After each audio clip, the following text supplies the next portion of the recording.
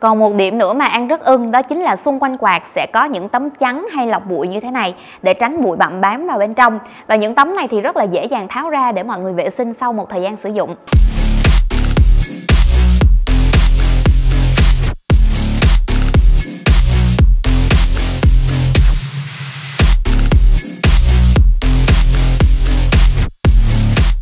Xin chào mọi người cứ mỗi khi mà vào mùa nóng thì có rất là nhiều người tìm mua những sản phẩm để làm mát cho không gian nhà của mình hay là không gian kinh doanh của mình nè. Và một trong những sản phẩm làm mát rất phổ biến đó chính là quạt điều hòa, bởi vì nó làm mát được trong một phạm vi rộng mà lại có hơi nước nữa nên là cứu nóng rất là hiệu quả luôn. Và ngay bên cạnh An ngày hôm nay đây chính là một chiếc quạt điều hòa đến từ nhà Sun House. Và mọi người cùng với An tìm hiểu trong video này xem là chiếc quạt này có những điểm gì nổi bật nhé một số thông tin về chiếc quạt này thì quạt đang có công suất là 200W phù hợp để sử dụng cho các không gian với diện tích tầm 60 m2. Nói về thiết kế hay là vẻ ngoài của quạt á, thì An thấy là thật ra trên thị trường hiện nay nó cũng không có quá đa dạng về mẫu mã cấu tạo hay là chức năng của quạt đâu. Đa phần thì nhìn chúng cũng sẽ hao hao nhau và có những chức năng cơ bản như là làm lạnh nè hay là đảo chiều gió nè nên là nó rất dễ dùng cho tất cả mọi người trong gia đình luôn kể cả là ông bà bố mẹ những người lớn tuổi. Và khi nhắc về chức năng thì cụ thể nó sẽ được điều khiển ở trên bảng điều khiển bằng nút xoay ở phía trước này. Bảng điều khiển có 3 nút nút xoay và một đèn báo hiệu đã có nguồn điện hay chưa? Lần lượt từ trái qua phải sẽ là nút mở chế độ làm mát, nút điều chỉnh tốc độ quạt và nút bật tắt chế độ xoay. Đối với chế độ làm mát bằng hơi nước thì những chiếc quạt khác sẽ được đặt là cool. Thì lúc này nước sẽ được bơm từ dưới này lên trên tại khoang này và nó sẽ có đá khô để làm mát nước. Và đá khô cũng là cái mà An đang cầm trên tay đây. Đá thì sẽ được chứa ở bên trong này và mọi người nên đặt nó ở trong tủ lạnh tầm 2 tới 3 giờ trước khi mà sử dụng nha và như mọi người thấy á, là những chiếc quạt mà có nước để làm mát thì nó sẽ có hiệu quả làm lạnh tốt hơn. Tuy nhiên là trong trường hợp mà khi nước hết mọi người chưa kịp châm thì chúng ta không nên sử dụng chế độ làm mát bằng hơi nước để tránh làm hỏng bơm nha. Phía trước quạt có vạch hiển thị mực nước để mình dễ quan sát và phía trước cánh quạt thì có cửa để châm nước vào bình chứa nước của quạt điều hòa thì khá là lớn và cụ thể với chiếc quạt này là tới tận 70 lít. Nếu như mà mọi người chăm đầy á, thì mình có thể dùng hơn một ngày liên tục luôn. Nhìn kích thước của quạt thì cá nhân ăn thấy là nó phù hợp để sử dụng cho các không gian lớn và thoáng chắc hẳn là mọi người đã thấy những chiếc quạt như thế này ở rất là nhiều những nhà hàng, quán ăn, những nơi có không gian mở mà không có lắp máy lạnh được. Vậy thì câu hỏi đặt ra là chúng ta có thể dùng chiếc quạt này trong gia đình được không? Và câu trả lời chắc chắn là có, nếu như mà nhà bạn có không gian đủ rộng này, đặt nó ở trong phòng khách rộng rãi hay là ở trong sân vườn cho những cái buổi tụ họp đông đúc. Và một yếu tố mà khiến chiếc quạt này có thể linh động được đến như vậy đó là bởi vì nó được trang bị nhiều mức gió với độ chênh lệch cao.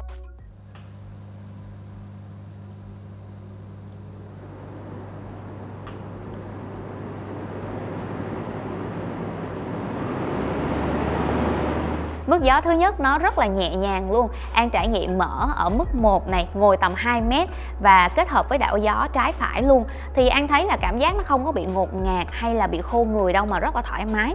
Còn hai mức còn lại thì An thấy là nó hơi mạnh mẽ một chút xíu, nên có lẽ là nó sẽ phù hợp với một không gian rộng hơn và đông đúc hơn. Như An vừa giới thiệu thì quạt này nó có thể tự động đảo chiều xoay trái phải đối với cánh quạt ở bên trong.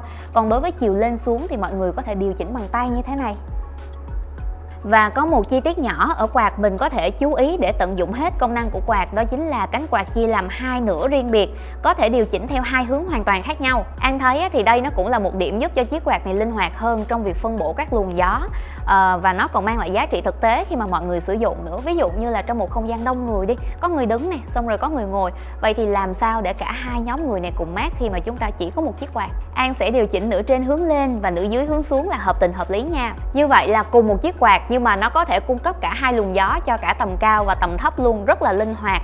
Và còn một điểm ứng dụng nữa đó chính là ví dụ như mọi người sử dụng quạt ở mức 1 nhưng mà vẫn cảm thấy luồng gió hơi mạnh thì mình có thể tùy chỉnh cánh quạt ở đây để phân bổ một nửa luồng gió đi nơi khác để mình sẽ có một cái làn gió dễ chịu hơn. Và với hai điểm linh hoạt như vậy thì An thấy là việc cánh quạt có thể tùy chỉnh này nó là một điểm cộng cho chiếc quạt này. Dành cho những bạn có quan tâm về tiền điện thì đây là lượng điện quạt tiêu tốn trong vòng 12 giờ. Còn một điểm nữa mà An rất ưng đó chính là xung quanh quạt sẽ có những tấm chắn hay lọc bụi như thế này để tránh bụi bặm bám vào bên trong. Và những tấm này thì rất là dễ dàng tháo ra để mọi người vệ sinh sau một thời gian sử dụng. Khi dùng quạt á, thì chắc chắn là quạt hút không khí vào thì cũng sẽ hút bụi vào bên trong luôn. Lâu ngày thì nó sẽ bám vào nan quạt đối với những mẫu quạt đứng. Còn đối với những mẫu quạt điều hòa như vậy thì bụi nó sẽ bám xung quanh này và đôi khi là còn rơi vào trong nước nữa gây mất vệ sinh sinh. Nên là An thấy cái việc có những cái tấm chắn lọc bụi như vậy nó là một đặc điểm nên có. Thực ra thì chi tiết này nó không hiếm đối với quạt điều hòa, nhưng mà không phải là mỗi quạt điều hòa nào cũng có. Nên là mọi người lưu ý để mình chủ động hơn khi mà chọn mua nha. Đồng thời là trên khoang làm mát nước phía trên, còn có tấm lọc giữ lại các cặn bẩn trong nước ngay tại khu vực phun nước ra. Đối với quạt điều hòa thì chắc chắn bên trong sẽ có nước và trong trường hợp mà mọi người muốn thay nước này hoặc là mọi người muốn xả nước ra để cất quạt đi thì mọi người sẽ tháo nút vặn phía sau ra để xả nước ra ngoài nha. Đối với quạt điều hòa thì nó là nguyên một khối như vậy. À, những phần mà mọi người có thể tháo ra để vệ sinh sẽ là những tấm chắn lọc bụi ở bên ngoài này nên nó cũng sẽ có phần hơi hạn chế nếu như mà mọi người muốn vệ sinh bình nước ở bên trong. Nhưng mà thực ra thì An thấy à, đa phần là quạt điều hòa hiện nay nó đều như vậy. Vỏ ngoài của quạt được làm bằng nhựa khá là cứng cáp, đồng thời là cũng giống như nhiều chiếc quạt khác, nó cũng có bánh xe giúp di chuyển linh hoạt, có thể khóa lại khi cần luôn. Hiện tại thì đây là giá bán của quạt trên trang web điện máy xanh.com một mức giá cũng chung chung đối với những chiếc quạt khác có cùng phân khúc, kích thước và chức năng. An cũng có chọn lọc được một vài chiếc quạt khác cùng phân khúc để mọi người có thể so sánh và có thêm nhiều lựa chọn. Đối với quạt điều hòa thì An thấy là nó rất phù hợp cho không gian rộng theo kiểu là không gian mở, không thể lắp máy lạnh được, nhờ có đá khô giúp hạ nhiệt cho hơi nước và giải nóng rất hiệu quả cho không gian mình sử dụng. Ngoài ra nhờ có sự chênh lệch giữa các mức gió cao mà mình cũng có thể dùng quạt trong gia đình, không gian kính vẫn được vì mức một của nó rất là dễ chịu. Nhưng bởi vì quạt có kích thước hơi lớn nên nếu như để trong không gian nhỏ thì sẽ hơi tốn diện tích nên là mọi người cứ cân nhắc và lựa chọn nhé. Còn thông tin chi tiết về sản phẩm thì An sẽ cập nhật thêm dưới link mô tả bên dưới. Mọi người có thể ấn vào và xem thêm. Và video ngày ngày hôm nay thì cũng xin được phép kết thúc tại đây. Nếu như mọi người thấy video hay và hữu ích thì đừng quên cho điện Mesa một like và một subscribe nha. Xin chào và hẹn gặp lại mọi người.